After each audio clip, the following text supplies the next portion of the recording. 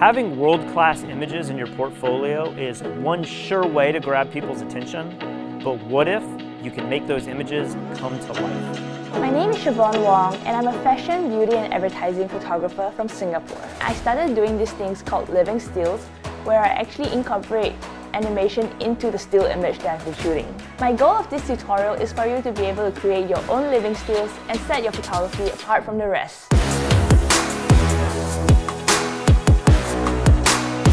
You may have heard of cinemagraphs before, and that's basically where you take a video clip and you kind of cut out areas of the video that you want to be still and you cut out other parts that maybe you want to move a little bit and repeat themselves. This is not that.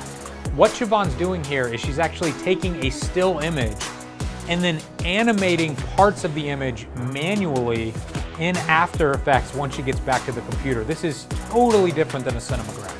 Now, I know what you're thinking. You've never used After Effects before, but don't worry, Shavonne's gonna show you only what you need to know so that you're not spending a whole bunch of time learning another piece of software.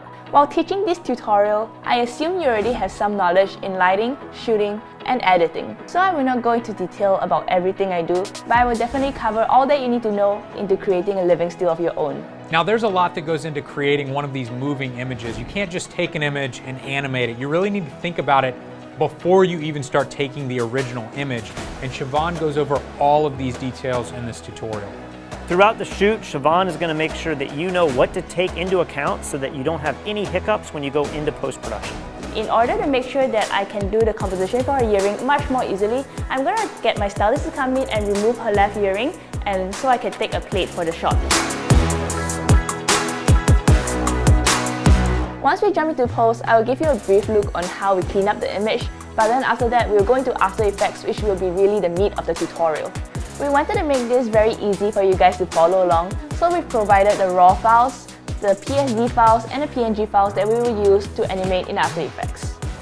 You can see the mesh. Let's move this one down a bit, and this one up a bit. And you can see the wave of the skirt moving a little bit. If you purchase this tutorial, you'll be invited to Shavonne's secret Facebook group. This is one that I'm probably more excited about than any of the other Facebook groups because I cannot wait to see what you guys come up with. Shavonne's work is amazing. If your work is half as good as hers, this is going to be one of the most interesting Facebook groups we've created so far.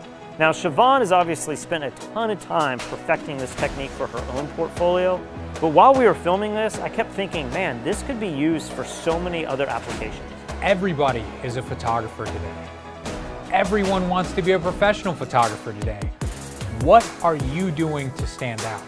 These living stills are unlike anything else that I have seen on the internet, and I guarantee you, if you're looking for a way that your images can stand out, if you're looking for more clients, this is definitely a way to do it because I've never seen anything else like this on the internet. This tutorial will give you the basics to creating your own living stills, but I hope you take this knowledge further and apply it creatively to your own workflow.